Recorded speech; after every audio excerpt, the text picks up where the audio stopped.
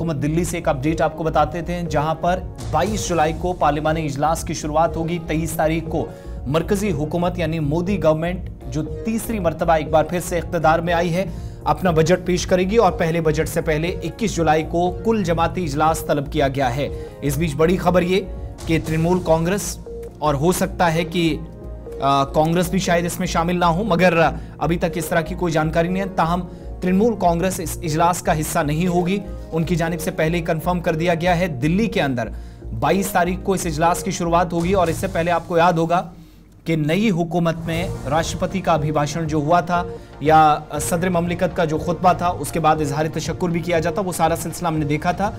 लेकिन इस दौरान आपको बताते चलें कि ये बजट इजलास जो है, वो 22 जुलाई से शुरू होगा और एक दिन पहले, यानी 21 जुलाई को मरकजी हुकूमत ने ऑल पार्टी मीटिंग बुलाई है और पार्लिमानी मोर के जो मरकजी वज़ीर हैं, इस बार किरण रिजिजू को ज़िम्मेदारी दी गई है।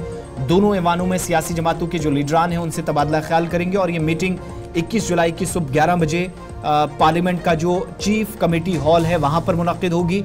इस इजलास में 22 जुलाई बाईस तारीख को जिसकी शुरुआत होगी 12 अगस्त को ये इजलास खत्म होगा।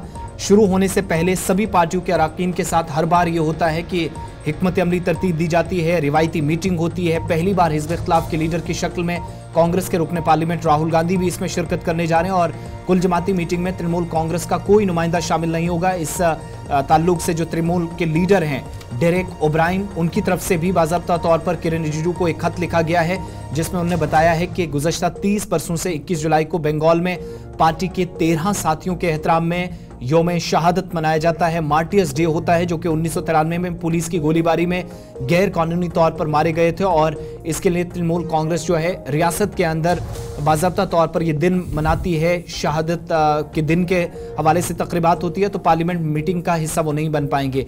दूसरी जानब कांग्रेस के भी इतलात हैं कि कई लीडरान इस दिन तैयारियाँ बंगाल के अंदर, जहाँ पर उन्हें भी उन्नीस सौ तिरानवे के इस वाक़े में नुकसान उठाना पड़ा था। इस सानह को याद करते हुए वो भी इस इजलास से दूर रहने की कोशिशें करेंगे, लेकिन ऐसा शायद ना हो, क्योंकि इस बार हिजब इख्लाफ की सबसे बड़ी जमातों में से कांग्रेस निन्यानवे सीटों के साथ ऊपर है।